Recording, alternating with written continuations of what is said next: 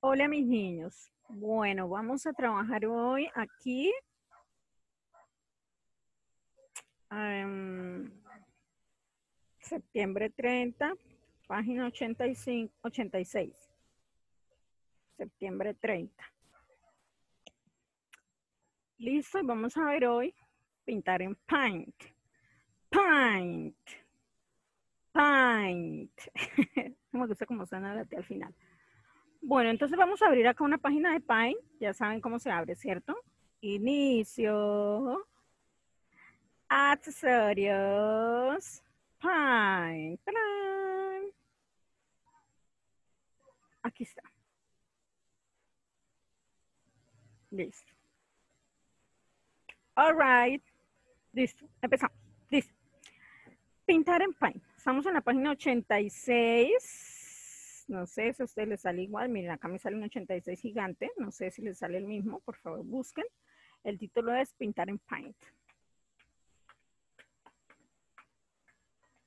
Dice, el lienzo es el espacio en blanco que tenemos para dibujar o pintar. O sea, este espacio. Dice una casi serpiente. Eso se llama lienzo. ¿Listo? Podemos definir el tamaño del lienzo desde el menú, imagen, atributos o cambiarlo manualmente posicionando el cursor en uno de los puntitos que hay en mitad del borde o en la esquina, o sea, en estos puntitos que hay acá. Pongo acá, se hace más grande, o acá. Se hace más grande. La verdad es que es más fácil que ponerse uno ahí a menú. Sin embargo, vamos a mirar acá. En este caso, eh, acá archivos, me dicen que menú, imagen, atributos, no, aquí no es. Entonces, tirarlo, voltear, cambiar de tamaño acá. Mm, tamaño. Mm, vertical 100, 100, 100. A ver, si yo por ejemplo lo pongo acá en 80, le voy a aceptar, se hace más chiquitín. ¿Sí ven? Entonces ahí en 100, y le doy, por ejemplo, en 150. Uy, wow, quedó en toda la hoja. No, pongámoslo en 50. Y más bien lo hacemos grande con esto acá. Así. Así. ¿Listo? Bueno, así se puede ampliar el lienzo. ¿Listo? Cambiarlo, hacerlo más chiquito, hacerlo más grande. Ok, ahora, para dibujar disponemos de diferentes herramientas. Vamos a verlas muy detenidamente. El lápiz que está aquí, mírenlo. Lápiz. Con el botón izquierdo del ratón pulsado del mouse, dibuja un trazo a mano alzada con el grosor y color que seleccionemos. Entonces, por ejemplo, yo escojo aquí el lápiz. Tomo el mouse, lo voy a oprimir, el botón izquierdo, y sin soltarlo, empiezo a dibujar. Bueno, ahí sí lo tuve que soltar porque voy a dibujar una carita feliz. Aquí no lo estoy soltando hasta que hice todo el círculo y ¡pa! Solté. ¿Listo? Ese es el lápiz. Resulta que yo puedo cambiarle el grosor aquí donde están estas líneas. Miren. Puedo usar este que es un poco más gruesito. Miren cómo me sale. Recuerden que es con el mouse pulsado. Ah, ¿Listo? Porque si yo lo suelto, entonces tengo que volver a empezar. Me van a quedar las líneas por ejemplo, miren, acá lo solté, lo solté, ¿sí ven? Tengo que volverlo a poner ahí exactamente, lo volví a soltar. Exactamente, lo volví a soltar. Lo volví a soltar. Sí, bueno, también se puede. también se puede. Eh, a ver, mm, ¿qué más sigue? El pincel. El pincel, bueno, acá están las opciones de pinceles. ¿sí? El pincel funciona como un pincel como el que usó María de los Ángeles para pintar qué días así espectacular el dibujo, bueno, esos pinceles. Pero este es un pincel virtual. Se puede variar el color y el grosor igual que el lápiz, pero se puede variar el grosor de la línea. Entonces, por ejemplo, acá tenemos varios pinceles. Yo puedo escoger este, miren cómo pinta, escojo un color y empiezo a... Ah, ¿Qué está pasando? Si no me gusta. Hacemos el grande. Pinta súper, súper rojo. ¿Sí ven? Súper rojo, súper rojo, pinta súper rojo.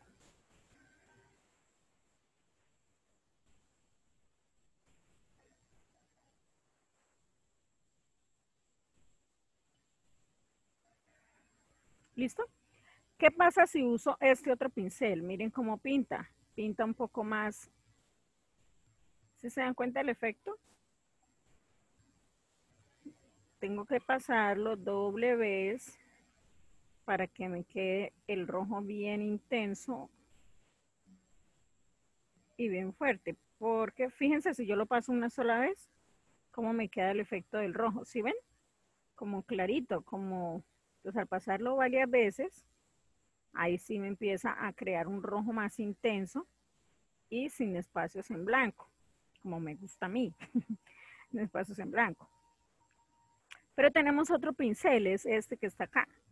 ¿Sí ven? Hay tres opciones de pincel y este es un poquito más delgado que el anterior, pero tiene el mismo efecto, ¿sí ven? Hay que pasarlo varias veces para que el rojo quede totalmente intenso. Bueno, el color, en este caso el rojo. Ahora yo puedo cambiar el grosor con esto. Miren, más delgada. Y si pongo la delgadita, me queda así. ¿Sí ven? Entonces eso varía dependiendo de los espacios que vaya a dibujar. En este caso, como es un espacio grande, pues entonces cojo el más grande para poder terminar más rápido. Y me salí. ¡Ay, qué belleza! ¡Qué belleza!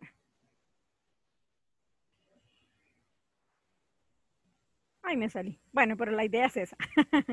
¿Listo? Y si se dieron cuenta, eh, ah, bueno, eh, los, repito, los que tienen esta, esta ya este, como esta actualización del computador, los tres pinceles me salen acá. Estos que salen acá no son pinceles, son otra cosa.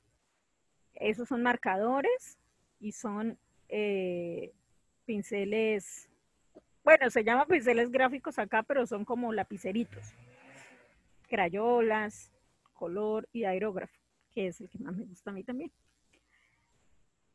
Y acá en las líneas es donde yo puedo cambiar el grosor. ¿Listo? Entonces, supongamos que queremos dibujar la carita feliz. Carita feliz, hagámoslo con este, con el grande. Empiezo a colorear la carita feliz. Si ven que como es el espacio grande, sencillamente pues es más rápido usar el más grande. Al usar el chiquitín, pues no voy a morar más en colorear. Listo. Pero como se me borró, entonces yo voy a dibujar la carita otra vez. ¿Listo? Y ahí empiezo a crear dibujos. Bueno, sigamos acá en el libro. Eh, para colorear, eso es el pincel, el lápiz y el pincel. Para colorear también tenemos otras herramientas, como el aerógrafo, que es esta. Acá la encontramos. Aquí está. Usemos un color morado. Y acá el grande también. Miren lo que hace el aerógrafo. Ay, me encanta. Me encanta. Miren, escribiré mi nombre.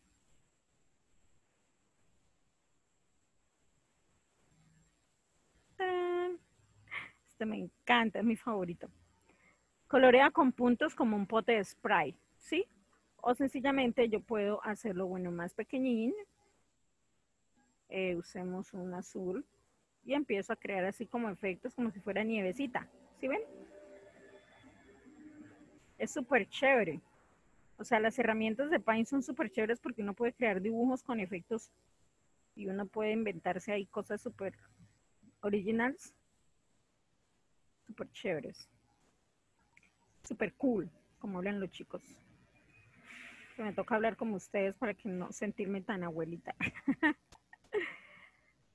así, listo, tan, tan, tan, tan, tan, tan. ¿Sí ven? Qué chévere. Ah, súper chévere, el aerógrafo es mi favorito. Y el tarro de pintura, que es el que cubre, que en este caso está acá, mírenlo, al lado del lápiz. El tarro de pintura cubre con color una región cerrada. Por ejemplo, miren lo que vamos a hacer con este, con este corazón que está acá pintado. No es necesario coger el pincel, sino que con el tarro de pintura le doy acá y lo coloreo. Entonces, el hecho de que la, eh, esté la línea cerrada me ayuda a pintarlo. ¿Qué pasa si yo le doy con el tarro? le pego con el tarro. ¿Qué pasa si yo le doy con el tarro? A ver, pintemos este también porque está pobrecito. ah, pero se ve feo porque ya está. Ah, ese se ve feo. Este que más bonito. Entonces, ¿qué pasa? Miren lo que pasa si yo le doy a, afuera. ¡Wow! ¡Uy, quedó súper chévere mi nombre! Y miren lo que hice de azul con el aerógrafo, ¡qué genial! ¡Ay, esto parecen luces! Miren, esto de aquí parecen luces de... Esto de aquí parecen luces de... ¿Luces de qué? De, de Navidad, de los fuegos artificiales de Navidad, ¿cierto? que súper chévere, se puede crear un efecto así, ¿sí ven? Entonces, el tarro de pintura me ayuda a eso. Entonces, ahora digo, ay, no, ese color no, voy a poner un color clarito. ¡Tan! ¿Sí ven? Digo, ay, en ese no, quiero poner un azul intenso. ¡Tan! ¿Listo? Entonces, imagínense. Por ejemplo, para hacer un dibujo como del océano, como del cielo, de espacios así grandes, ese es perfecto. ¿Sí ven? Que es súper genial. Bueno, si ustedes tienen computador y pueden trabajarlo, por favor háganlo porque se van a divertir muchísimo. Es súper chévere. Ah, bueno, pongámoslo ahora en blanco para que quede. Ah, pero el negro se vea más chévere. Mejor así. Listo. Entonces ahora vamos a acá responder las preguntas. Dice, ¿cómo se dibujan figuras geométricas con Paint? Bien, acá resulta que hay una opción donde tenemos figuras. Miren acá, vamos a hacer un cuadrado. Ups echémosle entonces un color que se vea porque... Ay, ¿qué pasó? No, yo quiero negro. Ok, pero ¿qué pasó? ¿Dónde, ¿Dónde quedó el cuadrado? ¿Dónde quedó el cuadrado? ¿Se fue? Ay, se fue. Bueno, volvámoslo a hacer. Acá. Dice, aquí está el cuadrado. Entonces ahora, ¿por qué no se ve? Ah, porque tengo línea blanca. Otra vez. Ahora sí. Y entonces resulta que yo le quiero echar el cuadrado verde, entonces le echo verde. Listo. Acá creo otra forma. Hagamos un círculo. Y a ese círculo echémosle gris. Con el pote pintura. Listo. Ay, no, no, no, no, no, no, no, no, no, no, no.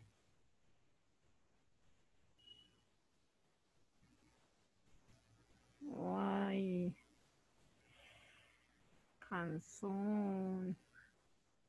Me borró. Listo, así. Y acá se pueden crear las figuras. ¿Listo? Ustedes sencillamente le dan, lo crean. Digamos, esperen, hacemos por acá otro color.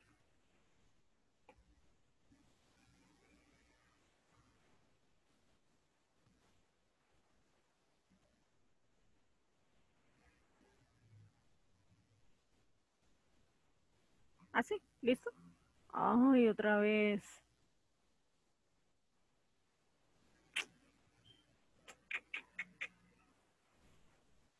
Bueno, el hecho es que así se hacen las, así se hacen las, las, las, las, las, las, las, las figuras geométricas, ¿listo? Entonces, ¿qué podemos poner acá? Ponemos lo siguiente. ¿Cómo se dibujan figuras geométricas en Paint? en el icono de formas, ahí, en el icono de formas, seleccionamos la figura, seleccionamos la figura,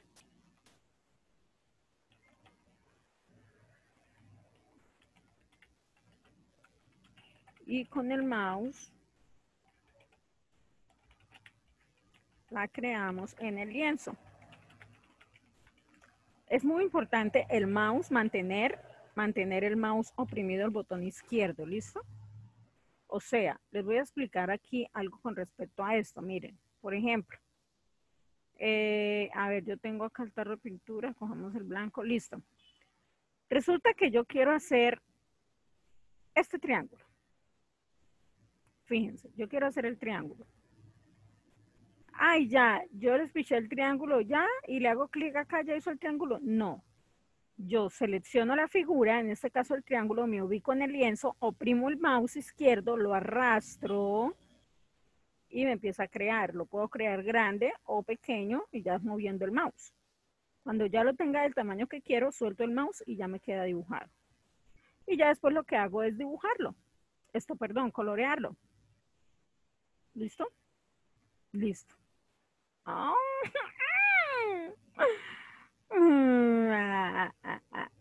Siempre me hace lo mismo. Allá, listo ya. ¿Listo?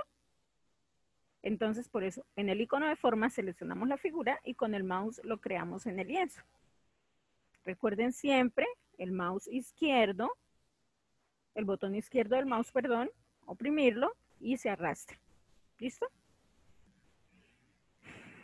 Ahora dice, une con una línea el tipo de trazo que hace cada herramienta. Ay, esto está muy, muy, muy, muy fácil. Entonces, a ver, vamos a hacerlo juntos, juntos. Miren esta forma, ¿recuerdan la que yo hice? Como si fuera la de, ¿la de qué?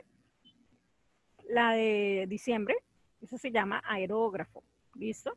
Lo van a unir y van a mirar el icono. Miren el aerógrafo. El icono del aerógrafo es este que está acá, este que está acá atrás, este que está como si fuera un spray, una laca. ¿Listo? En la segunda, como pueden ver, se están dibujando figuras. ¿Sí? Figuras, se están pintando figuras. ¿Con qué se hace esto? Se puede hacer, miren, si yo uso el pincel número uno, miren lo que puedo crear.